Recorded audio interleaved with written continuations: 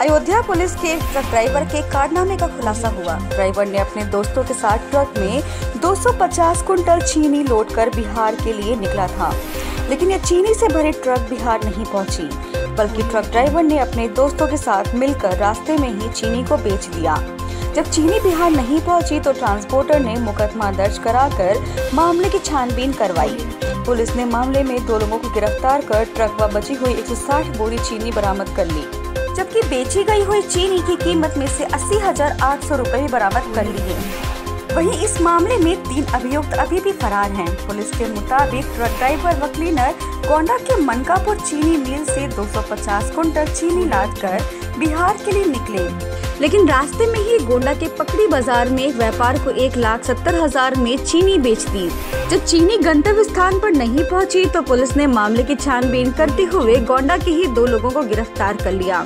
गिरफ़्तार किए गए अभियुक्त की निशानदेही पर 160 बोरी चीनी व अस्सी हज़ार आठ सौ रूपए बरामद कर लिया। गोंडा के ही तीन अभियुक्त इस मामले में अभी भी फरार चल रही हैं।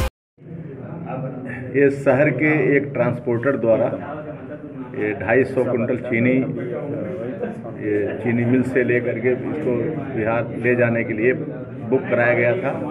ये ड्राइवर के माध्यम से बुक कराया गया था, ट्रक ड्राइवर के माध्यम से। लेकिन उसने जो है अपना गलत नाम पता बता करके और ये ट्रेन बुक कराया था। इसके बाद जो है जब ये ट्रेन, चीनी गंतव्य तक नहीं पहुँची, तब ट्रांसपोर्टर के द्वारा शिकायत की गई। और इस पर जो है टीम को लगाया गया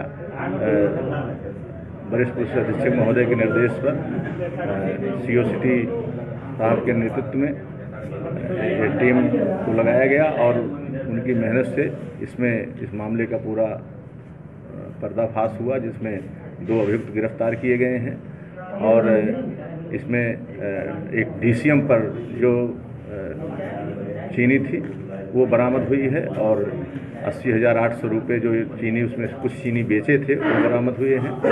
और डीसीएम भी बरामद हुई है।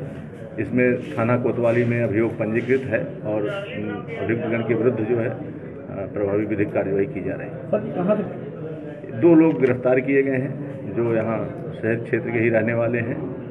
और इनके इनके निशादेही से ही जो है वो रुपया अस्सी हज़ार आठ सौ बरामद हुआ है जो गिरफ्तारी यहाँ सारे